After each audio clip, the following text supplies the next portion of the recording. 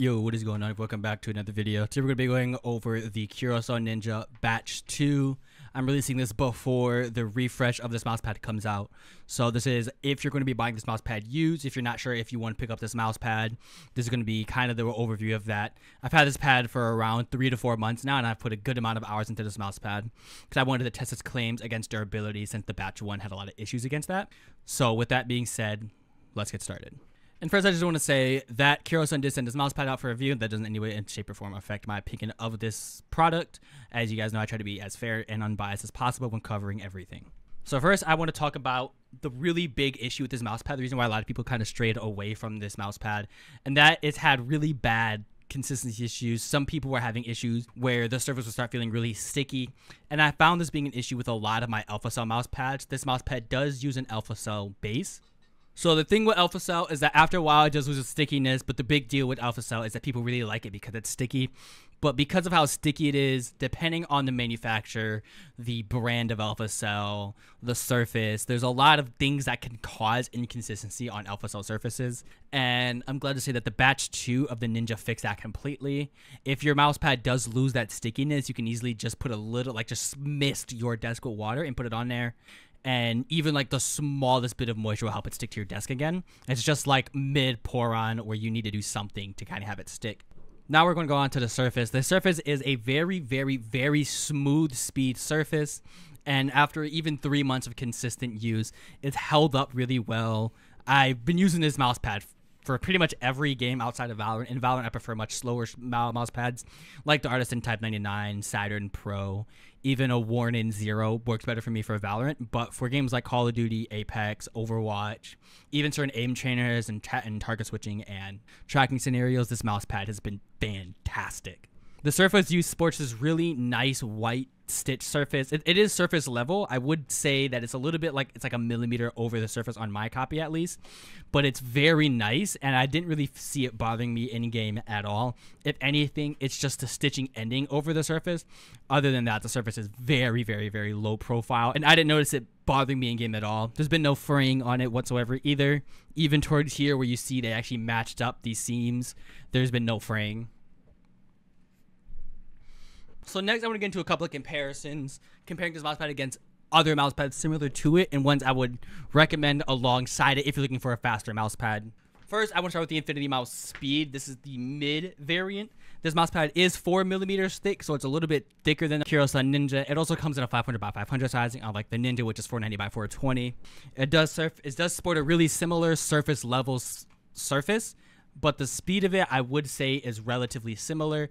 The main difference between the Kurosun Ninja and the Infinity Mice Infinite Speed is that this is 4 millimeters, comes in 500 by 500, and it uses a different surface alongside it using their custom IPU base. Their surface is a little bit more nylon feeling compared to the very nice cloth smooth feeling. And these ball pods are both really smooth and really fast. I do like them both. I do prefer the Kurosun Ninja a little bit more just because I like the 490 by 420 sizing. If I did have a 490 by 420 infinite speed, this would be a much easier comparison for me, but I just prefer 490 by 420. Going on to more modern pads, this is the Padsmith Crucible. This mouse pad is very similar style wise to, to the Kurosun Ninja. This uses Alpha Cell as well. This is own screen printed Padsmith's Alpha Cell, also surface level stitching, and it is sporting a little bit softer of an Alpha Cell. The Crucible is noticeably slower, but still in that speed category where the dynamics is just really fast. There is a slight texture to it. So compared to the Kurosun Ninja, which is quick and smooth, the Padsmith Crucible is quick and like a textured smooth.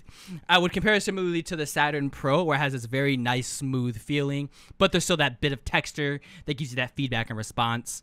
And the only real difference is, that the Kurosun Ninja is just noticeably quicker than the Crucible. The Crucible being a fast mouse pad, but on the slower end of speed pads. I would compare this similarly to the Hayate Otsu, if anything. It feels really quick and controllable, but without giving up that speed that you would like. And I've actually preferred this a lot more for tac shooters. And then finally, I, I just want to compare it to the Artisan Raiden. The Raiden is kind of just the staple. This is the mouse pad to beat. This is the Raiden X-Soft. My Raiden X-Soft has a good amount of hours on it too. The Raiden feeling like a much quicker mouse pad dynamically. It also uses their authentic Rogers Poron So if you want that consistency and you don't really want to have to worry about there being an inconsistency issue, the Raiden is just the way to go, especially when you get that X soft and that mid, you have a choice if, if you want soft or hard. The Ninja, on the other hand, just does not have that option. It's just a really nice, very firm mouse pad. The speed, I would say the Raiden is dynamically quicker than a Ninja. The Ninja has a little bit more dynamic friction than the Raiden, where the Raiden just feels really quick all the time. It just feels fast, and I personally am not the biggest fan of it when it comes for tac shooters, but for games like Overwatch, Apex, both mouse pads just feel incredible. Kurosun Ninja feeling a little bit thinner, but also feeling just as quick and consistent. And honestly, if you're will if you're wanting to pick up the Kurosun Ninja on the used market, like I said, this mouse pad is out of stock. You're gonna have to pick it up used. This is a fantastic choice, but I would just make sure that this is a batch two unit you'd be picking up and not a batch one unit.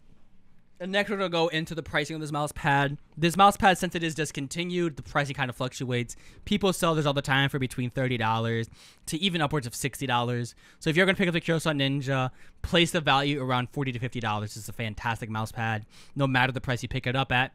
But because you can't buy it brand new anymore, you kind of have to just pay what you think you feel like it's worth. And you can always negotiate around as well. The sizing of this mousepad, like I said, is 490 by 420. This is around 3 millimeters, 3.2 millimeters. It's a relatively thin mousepad. Uses alpha cell and is very firm. And honestly, I just really enjoy it for faster paced shooters. I do not enjoy this mousepad at all for Valorant. I personally cannot use this mousepad in Valorant. And you can friends and friends of mine can tell you that I just play consistently worse on this in Valorant compared to literally any other game I hope you guys did enjoy this video. This is coming in a long line of mousepad reviews I have coming up. I have a lot of mousepads to cover. I've covered all the mice I wanted to cover now, so now we're back on the mousepads. I have all of the Esport Tiger modern mouse pads coming very soon. I also have the Ghost Glides Dream and a bunch of other black squares that I need to get over. So if you want, let me know in the comment section what you want to see next. But until then, hope you guys did enjoy this video. Like if you did, subscribe if you want to see more. This is a really good mouse pad, and I would definitely pick it up if you like faster mouse pads for your game. And it's a really good consistent mouse pad as the Batch 2. Make sure you inquire if it's the Batch 2 or Batch 1. And if they don't know, ask when they bought it because that'll tell if it's batch two or batch one. Yeah, I hope you guys did enjoy this video. Like if you did, subscribe if you want to see more, and I'll see you guys in the next one.